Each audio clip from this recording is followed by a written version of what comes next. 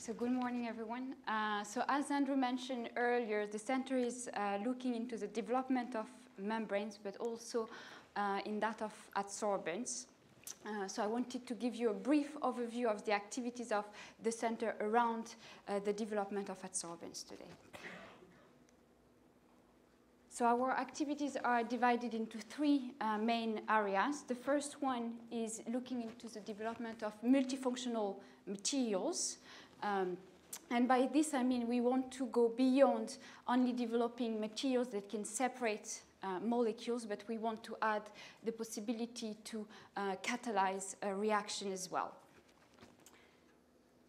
We are also looking into tuning adsorbents across different scales and also providing a multi-scale approach to the development of adsorbent. So an adsorbent must exhibit different properties going from, for instance, capture capacity, selectivity, cost, robustness. So we want to, and, and an experimental approach is not enough to uh, determine what is the best materials in order to achieve all this. So we are collaborating with people doing molecular simulation as well as process system engineering in order to more quickly come up with a material that is efficient for a given process. So working in those uh, different areas, we need a different um, set of skills and tools.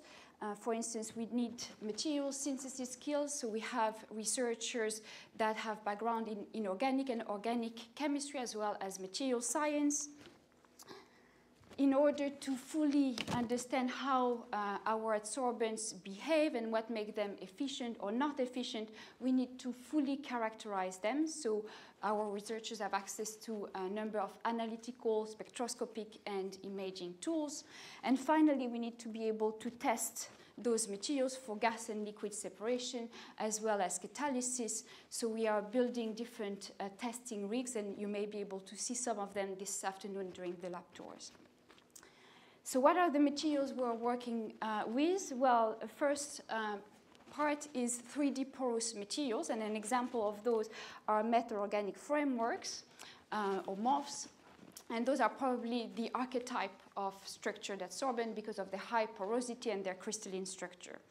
In addition to 3D porous materials, we're also working with 2D nanomaterials, such as, for instance, uh, graphene oxide, which is an oxidized form of graphite, we have also uh, boron nitride, uh, which is very similar to graphene, except that the carbon atoms have been replaced by boron and nitrogen atom, which gives an enhanced uh, thermal and chemical stability to the materials compared to carbon-based materials. If we replace the uh, boron atom in boron nitride by carbon atom, we obtain carbon nitride, which is uh, a photocatalytic material.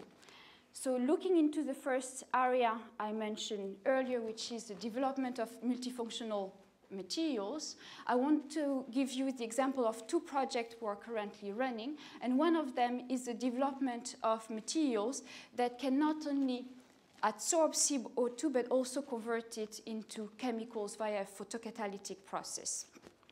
So the idea here is in the first step to have material that will efficiently adsorb CO2 from the flue gas and then use the energy that would be used to regenerate those material in order to also convert CO2 at the same time.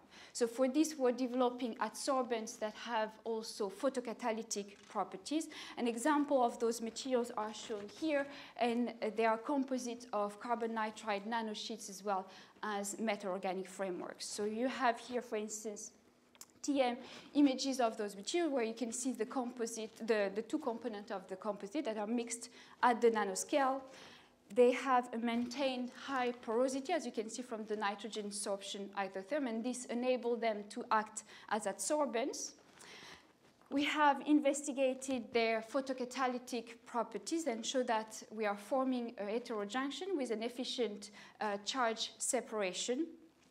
And this enabled the composite to actually perform better than the parent materials when we look at the photocatalytic degradation of organic molecules. So the next step for us now is to employ those materials for uh, CO2 capture and conversion. Another uh, project we're working on around the theme of multifunctional adsorbent is the development of materials for combined water purification and the production of energy.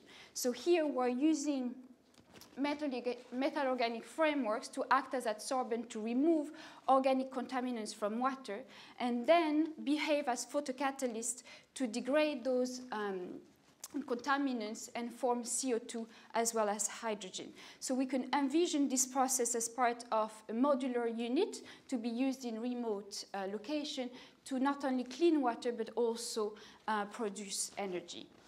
So the adsorptive capabilities of MOF have been very well documented, but the photocatalytic properties are much um, less known. So we're investigating this and seeing how we can tune the photocatalytic properties of MOF by changing their uh, ligand or the metal that we have.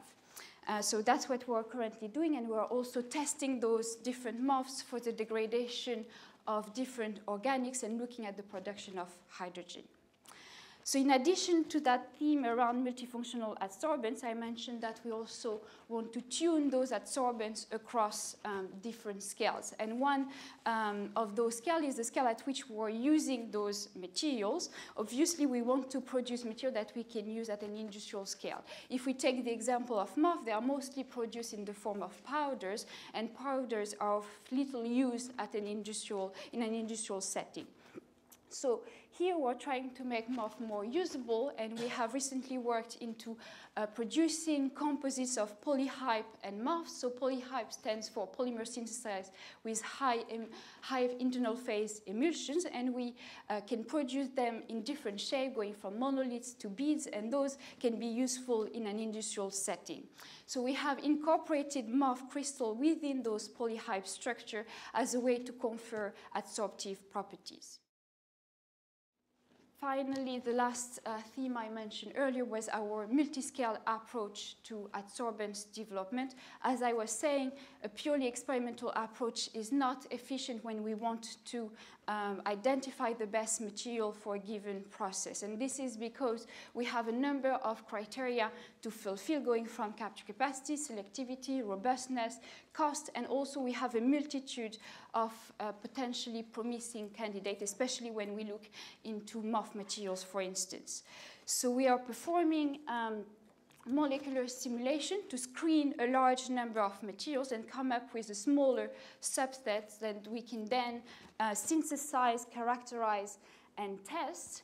And both of those uh, results can then feed in and can be provided uh, to process system engineers that can then identify which of those uh, different materials have a potential for application at an industrial scale. And in return, they can provide experimentalists with target ranges in terms of capture capacity, selectivity, etc., that we need to uh, fulfill. So we can go to the lab and design a material that will uh, match those different criteria. So I think that's all I wanted to say for the uh, adsorbent theme, and uh, I'll be happy to take any questions a little bit later on during the day. Thank you.